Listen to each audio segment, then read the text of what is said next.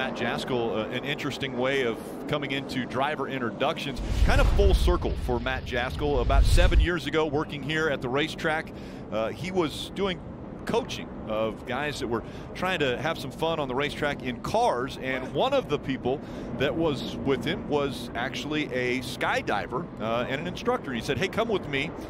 Matt said the first time he ever did it, he was terrified jumping out of a plane. Well, this is the way he got to the track today. Yes, he jumped out of a helicopter at 5,000 feet, free, free fell until 2,500 feet, and then that is a perfect two-point landing right hey, there. Right.